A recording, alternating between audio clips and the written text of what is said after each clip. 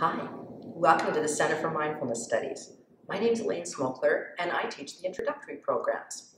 I've been working with mindfulness for about 20 years now and I've probably got about 10,000 hours of practice under my belt.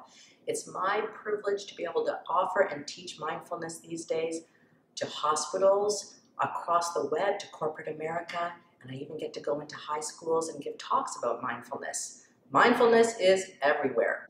But what exactly is mindfulness?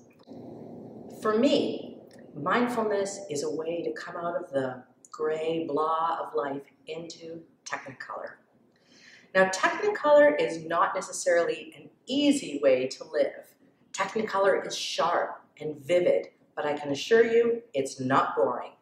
The workshops that we offer, Mindfulness Half Day and Mindfulness Full Day, it's an opportunity for you to just put a toe in the water before you check in with our amazing eight-week programs.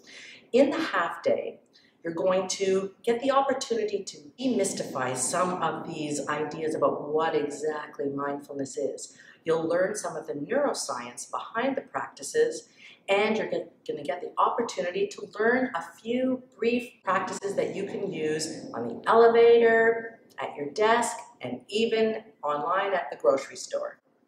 In the full day program, you're going to get a more immersive opportunity to go for longer, deeper programs that particularly focus on working with the senses, which is often how we work with mindfulness because our senses are only felt in the present moment. So in the full day, You'll learn mindful walking, mindful eating, mindful listening, and mindful being a human being. I highly recommend them, and I look forward to seeing you there.